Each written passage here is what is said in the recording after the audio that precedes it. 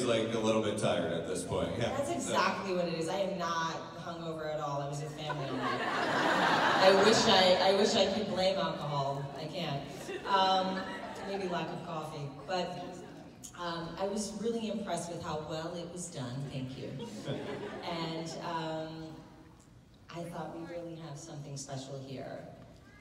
And it continued to just be an incredible show.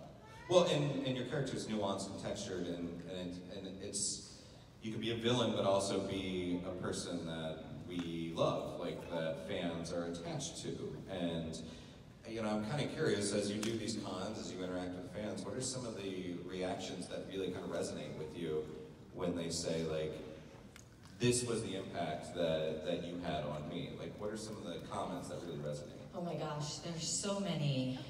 Even today, I heard from someone who said um, they were um, a suicide survivor and a suicidal survivor, and um, there had been three attempts, and they started watching Once Upon a Time, and my character resonated with them, and she attributes, you know, her, I guess, living today um, to the Queen and Regina's story.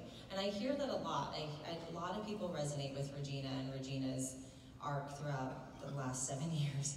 Um, and, and I get it. Like, she is, it's a story of redemption. She's, uh, you know, she wasn't born evil, she was made that way, and then she really fought for a better life for herself. And, and I think that's really inspiring. The Huffington Post posted something along the lines of Regina being a life coach, which I thought was really cool. Um, I can never foresee portraying a character that would then become a life coach for people in the world. So that's amazing. And, and I, you know, I learned a lot of lessons from Regina as well.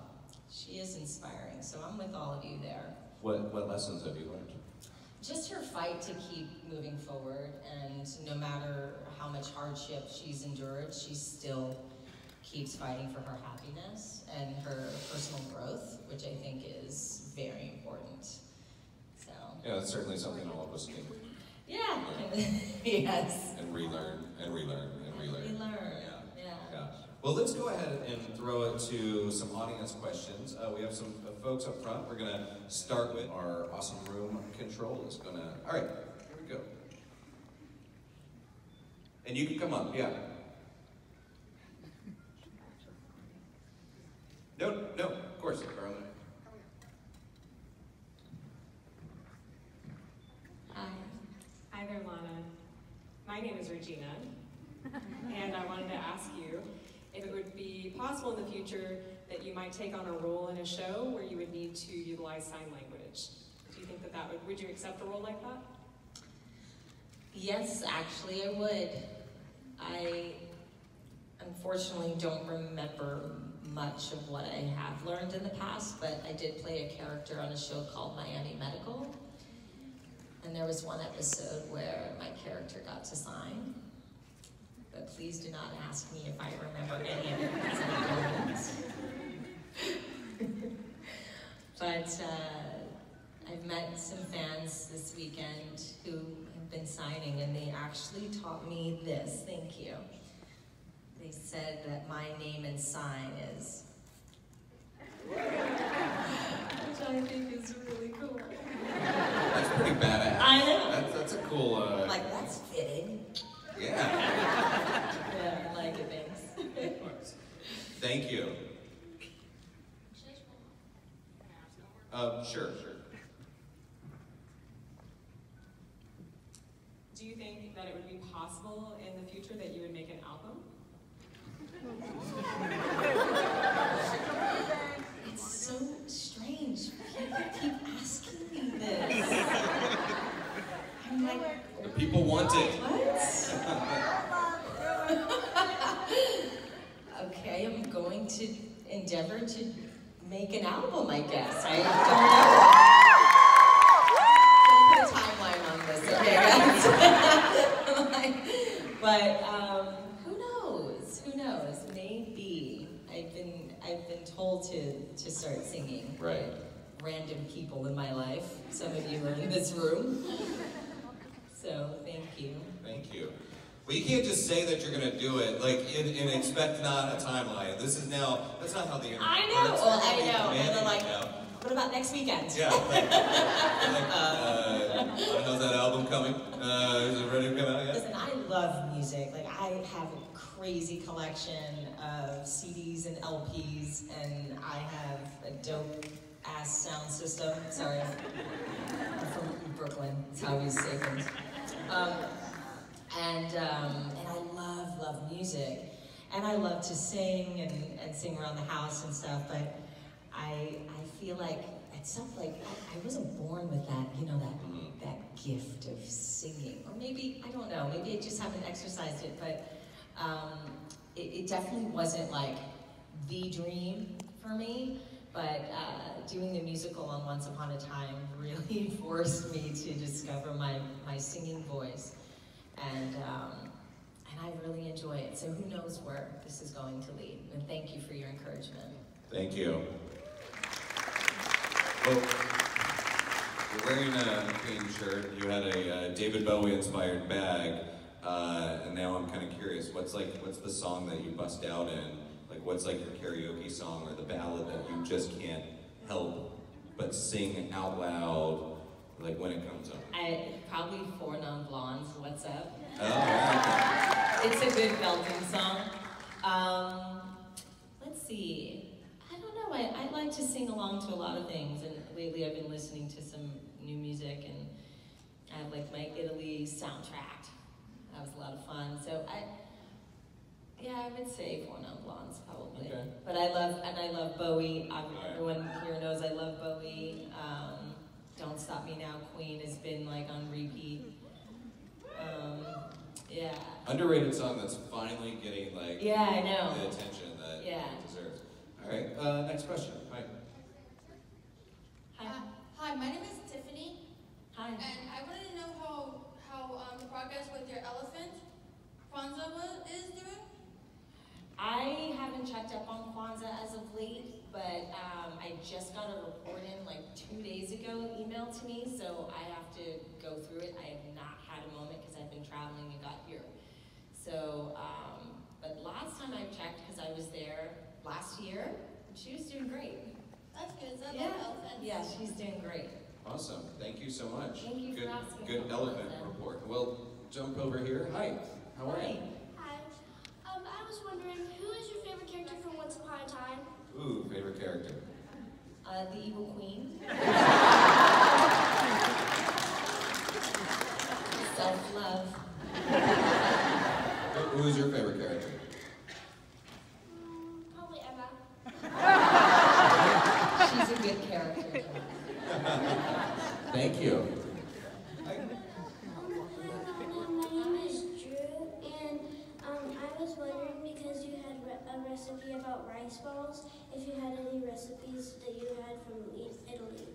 Oh, recipes from Italy. Any recipes? I mean, yeah.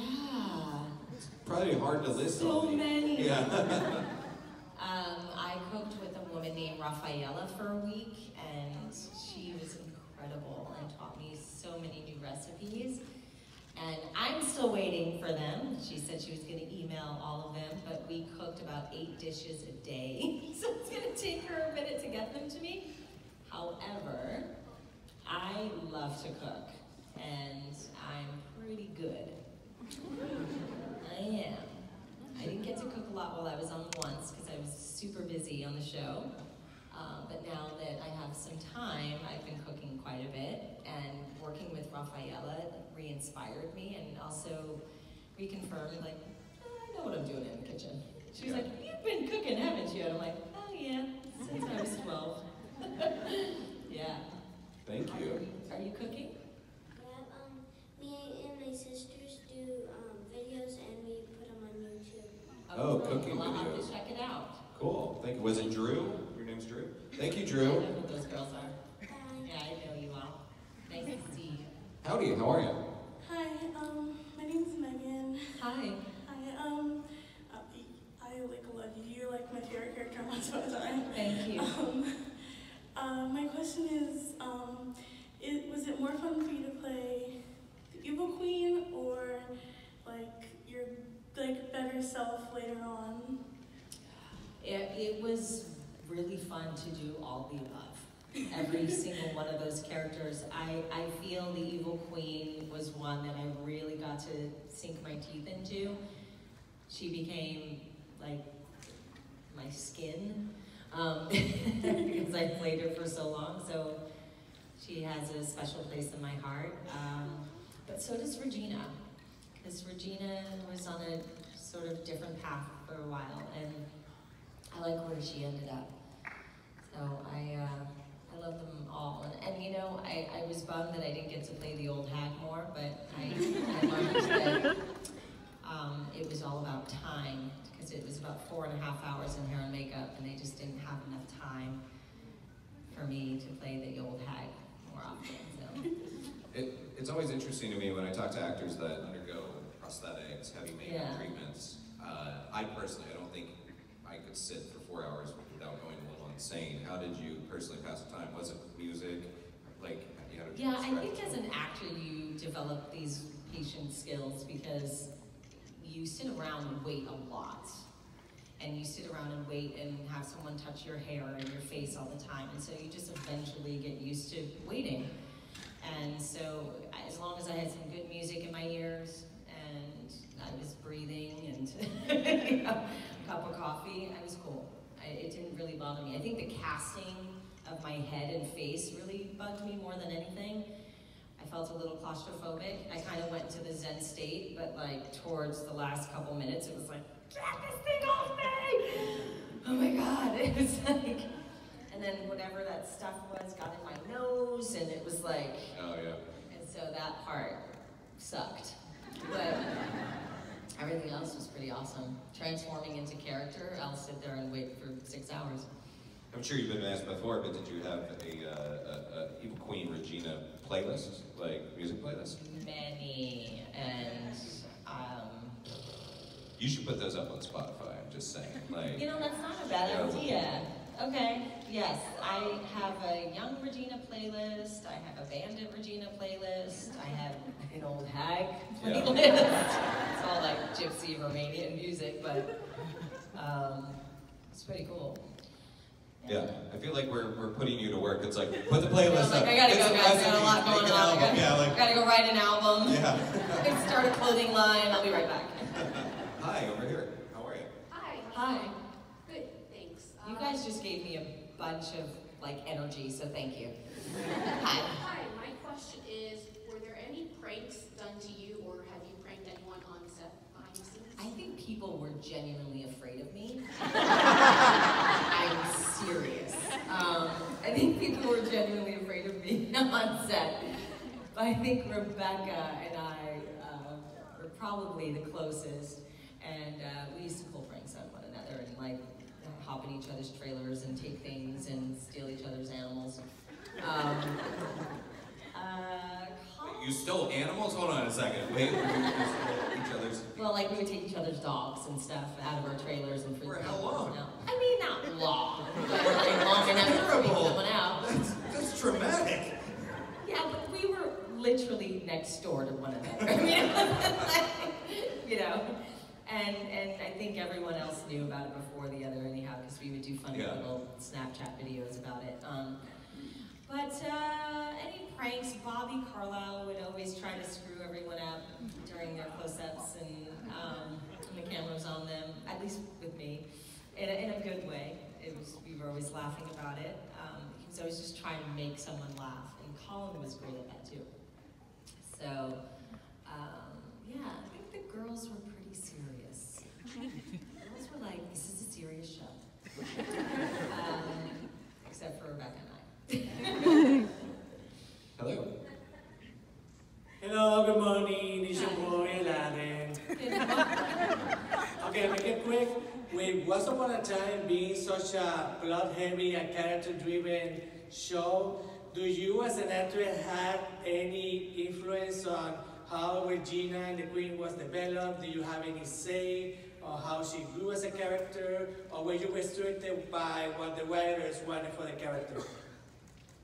Uh, so the, the writers were pretty firm about us really, like, we, we didn't interfere a lot with their writing, because that's kind of, that's not our hat, you know, like, I trust my writers, and if there was anything that just didn't feel right, I never really questioned that as being wrong. I would actually look into it further and see if I was resisting something, because I think the, the writers, they had, they had a pretty good idea of where they wanted these characters to end up. So out of respect for them, I didn't really interfere. If there was like one thing that I just said, I really like the evil panda line. Um, I had a really hard time about that one. So I would call on lines like that and just go, I just don't see Regina saying this. I don't even understand what it means. It's an evil panda? A reference to something I've never saw or book? So um, in that regard, I did share my thoughts, but no, I, I, I just made things work. Well, you did. You did a great job. 10 out of just 10. make it work if I didn't feel like Yes, Queen. Yes.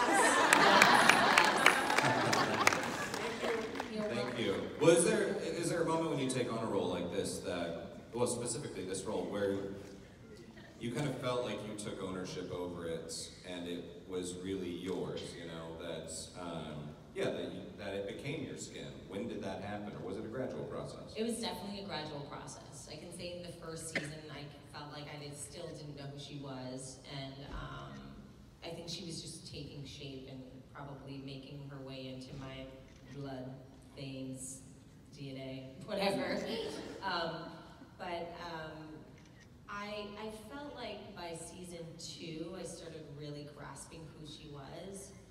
Um, I think by season three, I was fully embodied. Yeah. Cool. I know, it takes a minute. Yeah. You guys are like, no, you had it in the second episode. See, there's my reality and then there's the reality. They're both very different. Hello. Hi. Hi. So, other than the stealing of the dogs for you and Bex, what's the funniest thing on set that you two did together? Um.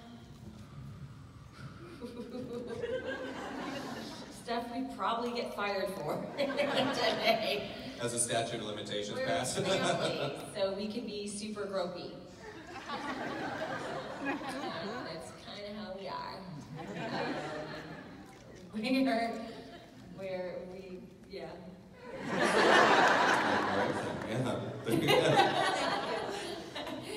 Um, we're just silly girls like that, so we'd grab each other's like, and laugh, but I'm sure the guys got a kick out of it. Thank you. Hello. Hi, my name's Jamie. Um, Hi. I was wondering, with Once Upon a Time, there's so many different characters and worlds that go into this show. What world for you was the most fun filming in? Oh. Wonderland. And I, because I always wanted to visit. and I feel like I actually did. It's like my childlike imagination was just in full force in that episode. I did this whole exercise at home that really created this world for myself. And so when I was there, I really saw it all. Um, the power of imagination, right? So I, I really enjoyed that. Neverland was hell.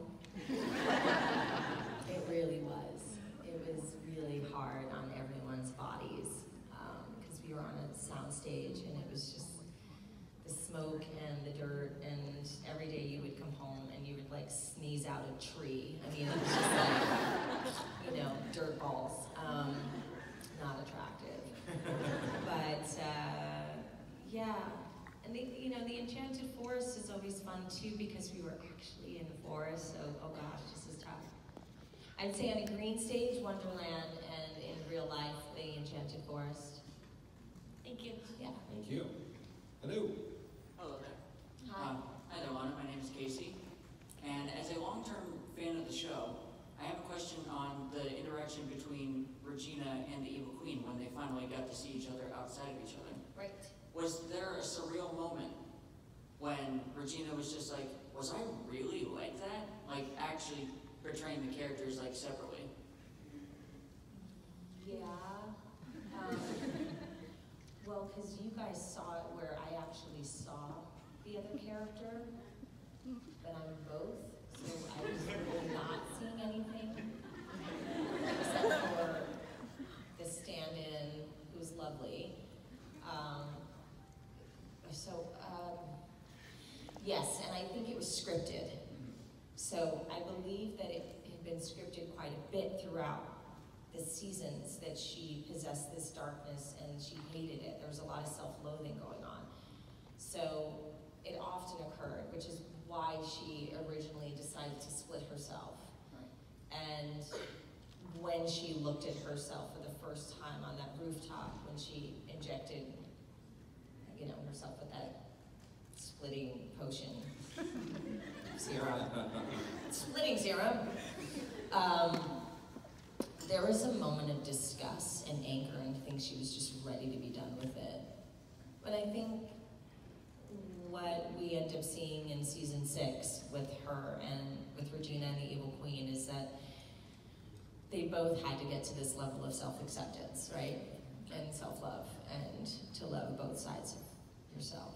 Even though I feel like there's more than two in all of us, but you know, that darkness versus light.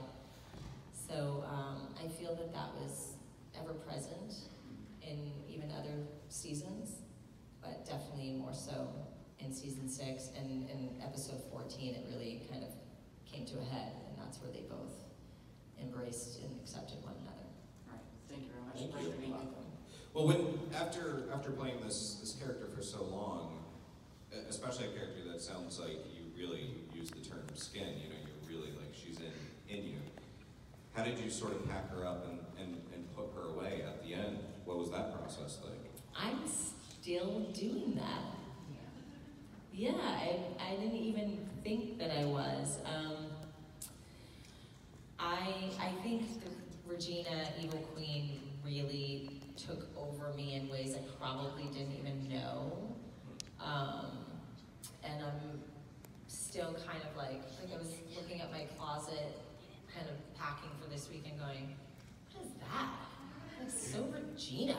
like, who was that? I guess I was Regina shopping. Like, I would go out and like things that I thought she would wear, but it was like unconscious, and then I was wearing them, and so there became like little separation between Lana and who I portrayed for seven years.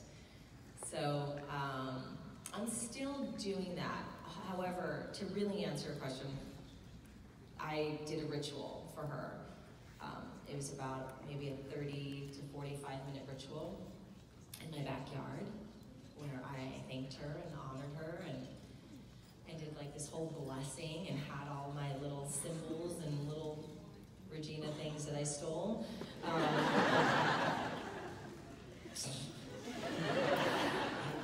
auction, wait? I gotta get in there before they auction everything off. so I took some of my favorite things. Sorry, guys. Um, and I had all of that laid out and kind of just really thought about the seven years and, and what she brought to my life and what she brought to all of your lives and other people and just thanked her and, and celebrated her. So that was like my little farewell to the to the queen. It's like it's a it's like a spiritual. It's yeah, like a, I'm very spiritual. Yeah. Yeah. Well, and, and it's interesting because it's something that I think resonates with all of us that we're fans of things and we dress up and we want to talk to people. These characters feel very much alive, and for the person that's portraying it, it it's on uh, not to get too deep or whatever, but like the there's things called tulpas in, in the Buddhist faith. There's thought forms, these things that we put so much energy and belief into that it essentially exists in the real world. And it sounds like that's sort of how these characters are for you. Yeah, absolutely. I, I think, okay, so I, I mean, I like going deep. I think everyone knows that. Let's, let's do it. But your body doesn't really know the difference if you're like pretending to be under attack and you start screaming and shaking and your body actually doesn't understand that it's pretend. So your body is so much bigger than your brain, even though people don't give the body credit. Um, but it stores a lot of energy. And so if you don't move it through, and if you don't like let your body know, hey, that's not real, it can actually hold on to that traumatic energy that the evil queen or Regina went through. So it's it's like, you know, I remember I think this is okay to say, but uh, when Ginny was pregnant, she had like all these really emotional scenes. and she was like, oh my God, I don't want to like terrify my baby. You know, so it was like, you have, performance is kind of shifted and altered a little bit because you don't want to traumatize the body in that particular case. But um, if you're not care, you know, making a human and you're, it's just you, you have to find other ways to kind of work that energy through your body to let it out and release it. So, um, yeah, that's something I've been doing. It's like, okay, Regina was just pent up, really stiff at times and like stoic, and she had this like walk, and sometimes I started to develop like pains in my back and tension in my arms, and I was like, oh my god, what is this? So I have to like move it through and and start to become a little more fluid because she wasn't. She wasn't at times as the evil queen, but she was she really kept, kept a lot inside, and it just like you know swirled inside of her body, and so it became kind of a tight yeah. body. And not like yeah.